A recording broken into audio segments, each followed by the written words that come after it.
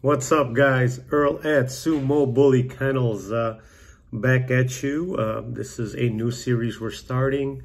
It is called Dog Talk, right? Random uh, topics about dog ownership, dog breeding, and just dog stuff, period. Everything from feeding to habits to everything else. So, um, on today's first episode, um, as uh, some of you guys who've been following the channel uh, know, I went on vacation for three weeks to the Philippines. I was a best man at a wedding and uh, kind of rekindled my roots of uh, where I grew up and possibly future retirement. So without further ado, um, I'm going to give you a few tips here, right? Roughly 10 to 12 tips on uh, leaving your dogs when you go on vacation.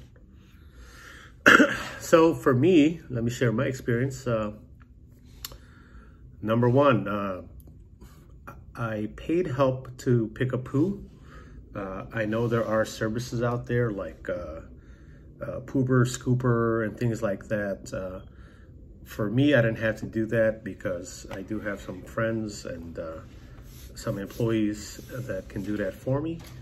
So you know, it's not so much about what you're paying them, it's trusting people to go into your home, your yard, um, and around your dogs. So my choice of going with somebody I know versus paying a professional service um, is that I know this person, I trust this person.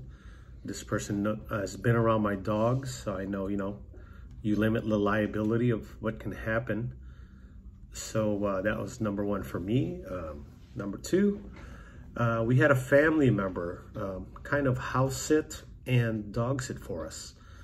Um, feeding the dogs, you know, watching them, letting them out, spending time with them. I think that's important uh, because dogs are social animals, right? They enjoy our company as much as we enjoy their company, to be honest. And uh, I was, uh, I felt good about having a family member stay at the house. Uh, could have been a friend as well, like a close friend, just to make sure that our dogs uh, were in good mental health, right? And not kind of being offset by not seeing us for about three weeks. Uh, well, when I set up my kennels, uh, number three is I set up cameras because I figured there would be a time where I wouldn't be home. And I had to check my cameras, make sure my dogs were okay. Um, you know, set the motion sensor to record to see if they're doing anything mischievous, things like that. So uh, facility setup is important, camera setup to be able to see something. Uh, for example, if no one's at my home watching my dogs and I put the camera to record on motion, if there's something going on that I don't like, I can always make a call and say, hey, something going on there, you know, I don't like what I'm seeing. So that for me, having that visual was very important. Uh, number four, food preparation, right? Now, typically, you know, when we vacation, it's typically about a week. But because we're going all the way across the other side of the world, and the flight is roughly 22 to 24 hours, uh, we were going to spend a significant amount of time there, uh, three weeks. So uh, if you are feeding kibble, I guess buy enough kibble, right? For me, um, we feed raw, all raw. So that's why, exactly why I invested in a freezer. Um, we grinded three weeks worth of food and froze it. And then uh, all the person feeding had to do was pull it out, defrost it, and uh, feed it to our dogs. So food preparation is key, whether you feed raw or you know, you do combo. Let's say, I know some people who feed raw and feed um, kibble, in which case you just got to make enough and uh, freeze it. You know, if you don't have a, uh, a deep freezer like I do, then I, I, you know, maybe get gallon Ziploc bags and portion it out per meal. For us, it's a little bit more because we have a lot of dogs on the yard. So, you know, before we left, we probably grinded close to 400 pounds of feed raw. Uh, that's about how much feed we go through, guys. It's serious. Anytime I grind, I'm grinding two, 300 uh, pounds uh, cumulatively between the meats, the carrots, the green beans, pumpkin, and all the other ingredients. We're somewhere around 300 plus pounds every time we grind, which is, you know, typically every 12 days, I would say. Um, another thing, right? Like for me, I prefer that I have someone watch my house and my dogs. Is uh, it's important to acclimate your caregiver to your dogs and your dog's personality if you have multiples. So uh, having that person come into your home or your yard, whatever your setup is, to spend some time with your dogs and even accompany you when you're feeding them before you leave is a, a good assimilation, right? Because then your, your your dogs get accustomed to that person, they get used to that person, and also more importantly is that that person becomes uh, familiar with your dogs, your dog's personalities, right? And if you whether you have one dog or ten dogs, all dogs have a little different personalities. Um, we got some dogs are you know like Maki, she's super affectionate, right?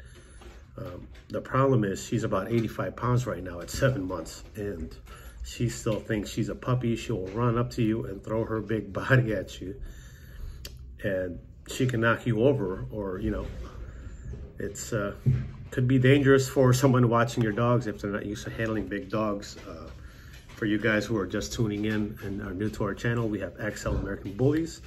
These dogs get 100 plus pounds and very, very powerful. Uh, very good tempered, however, they can hurt you if even if they don't mean to. And that's just by trying to jump on you and, and play with you and give you affection. And so getting the, the your caregiver uh, acclimated to your, your dog's personalities and, and how to deal with them is very important. So, and, and you can't do that the day you're leaving, you know, that has to come over time, maybe a few weeks before you leave. For me, even longer, right? Uh, so number six, for me, I'm not comfortable with boarding my dogs. Uh, one, I have young pups. Two, I have a lot of dogs on the yard. And three, uh, you know, the unfortunately, the American bullies, no matter what category you're in, carries a stigma from the pit bulls, right? Our dogs are all cropped. And so to um, someone who doesn't know what they are, they'll look at a dog and our dog and say it's a it's a big pit bull, and we all know the stigma associated with a pit bull that it's a crazy dog, it'll eat you, kill you, and all that other stuff. Um, even though that couldn't be further from the truth with the kind of dogs we have.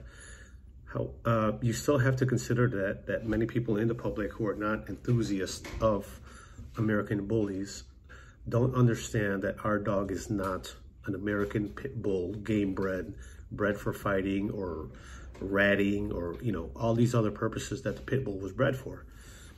And so just knowing that, uh, that our breed does carry a stigma and it's up to us to kind of clear that up. However, we're not fully there yet as a breed or as a community. And so with me, uh, with the kind of dogs we have, I am not comfortable with uh, boarding them to a dog boarding place. Um, it just, to me, it just, it's a recipe for disaster, right? We have big dogs that like to play. They are puppies still and they have that puppy energy. However, they don't know how strong they are.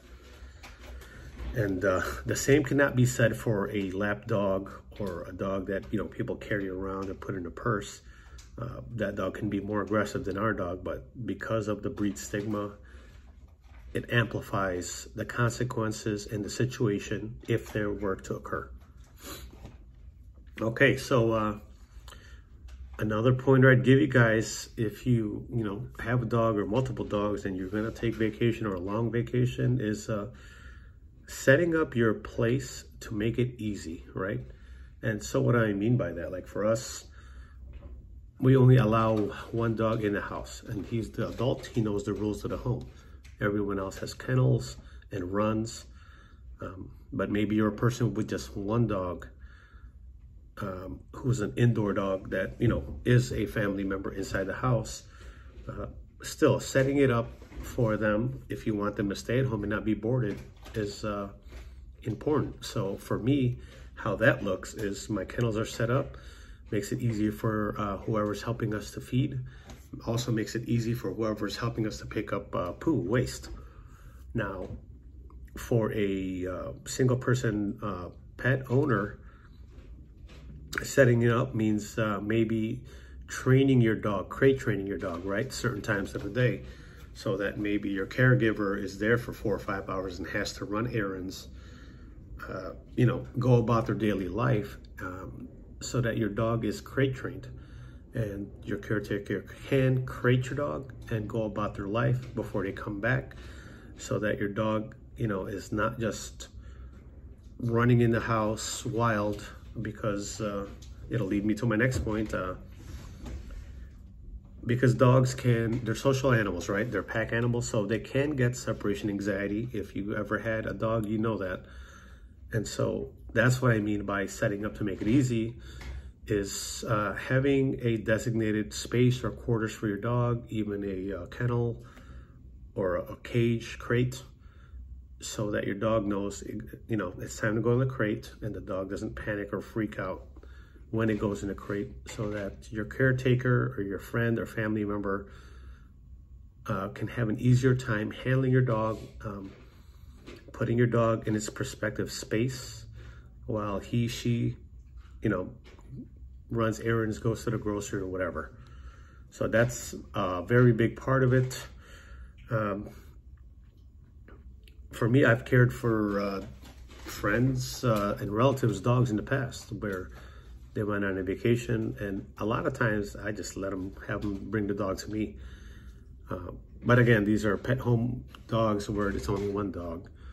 And because I've been a dog person all my life, it's not a big deal. And typically, I, you know, every dog I've ever said it was an adult and not a puppy. With a puppy, I definitely create that puppy because you turn your back for one minute and that puppy is going to chew something, eat something, swallow something, and get into something you don't want it to. Um, and it's a big responsibility caring for someone's dog, you know. That dog swallows something it's not supposed to, has to go to ER.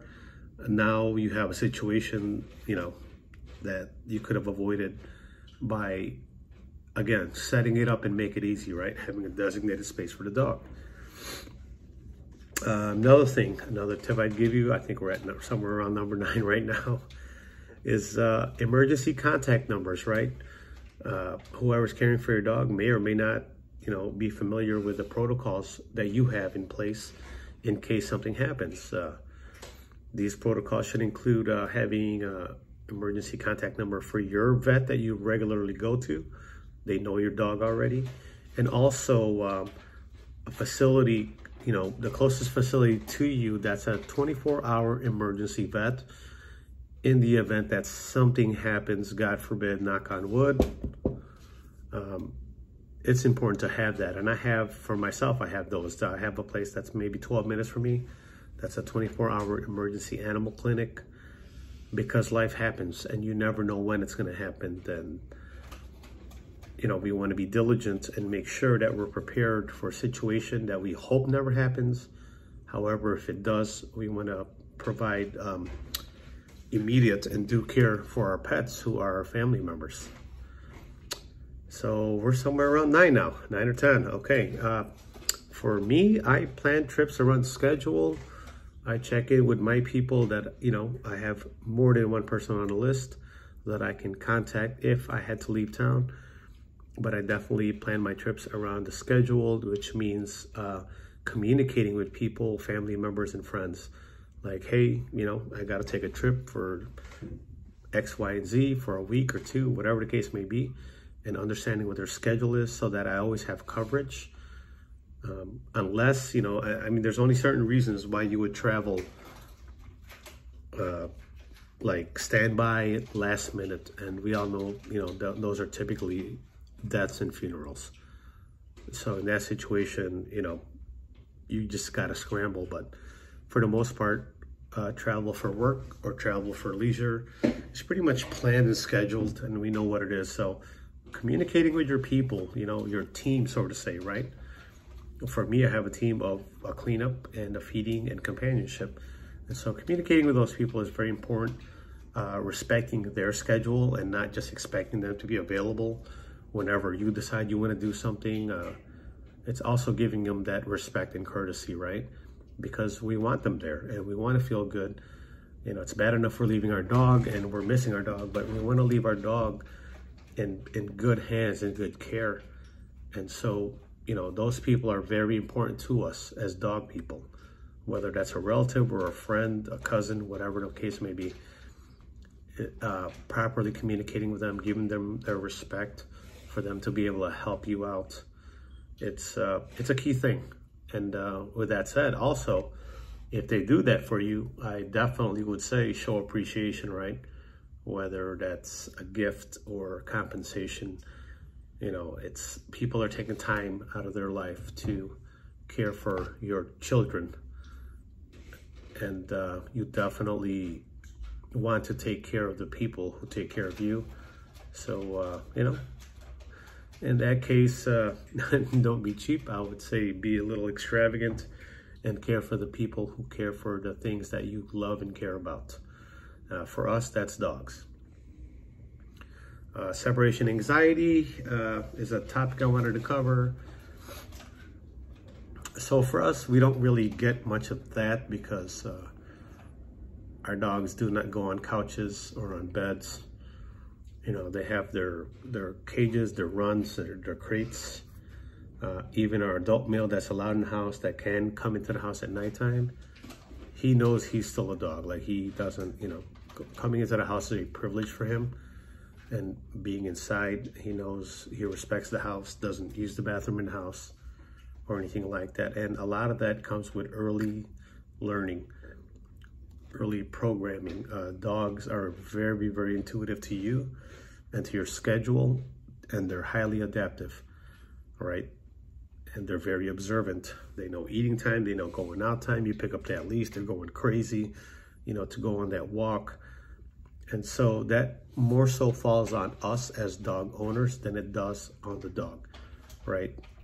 It's that early training, um, just having your systems in place, your schedules, so your dog already has these cues and keys of how things should operate. And they do learn fast. They're very, very smart when it comes to that stuff. Uh, lastly, uh, with everything that I covered, it's really, you know, dog ownership is a lifestyle and a commitment. You know, this is, uh, I would say, one step down from having a child. You know, you have to plan life around your dog, your work schedule, everything else. Uh, vacations, trips, uh, you can't just uh, connect with that dog whenever it's convenient for you. That dog has to be fed every day, has to use the bathroom every day. Uh, I feel that the dog, all dogs should have exercise time every day, the time to go out, stretch their legs, walk, run around, go to the park. You know, for us, fortunately, we have uh, a big space in our yard, so taking them out to the yard, throwing the ball, you know, just having them stretch out and releasing that energy is good. It allows them to just exercise and not feel cooped up so that uh, they don't become destructive. because a dog that is under exercised and cooped up all day is just, you know, that's to me, in my experience, that's just a dog that's going to chew things or get into something a dog has to release that energy just like we do as human beings. So with that said, guys, uh, that's about 12 or 13 tips on uh, going on vacation and leaving your dogs. Uh, very important one. That's why I started the series of Dog Talk, just to talk about normal topics. I mean, we are in the XL Bully Lane. However, a lot of these topics that I do want to discuss pertain to everybody who has a dog who has one dog or two dogs or four dogs or breeds dogs uh, wanted to touch base on these things and maybe some some of these things can help you. If you haven't already uh, guys go ahead and tap in subscribe uh, give us a like uh, in fact uh, if you have certain things that really work for you and caring for your dogs when you leave uh, write us a message. I'd, I'd, love to know that, you know, give me some tips. I'd like to learn something from some of you guys out there who have been uh, longtime dog owners or maybe dog breeders. If there's a system you have in place, a certain thing that you do that really helps with that uh, time and transition while you go away, I would love to hear it. I'd love to read about it. Uh, let's connect. So with that said, guys, this wraps up our first episode of Dog Talk. If you're watching, thanks for listening. Thanks for uh, liking and subscribing. And I'll catch you on the next one.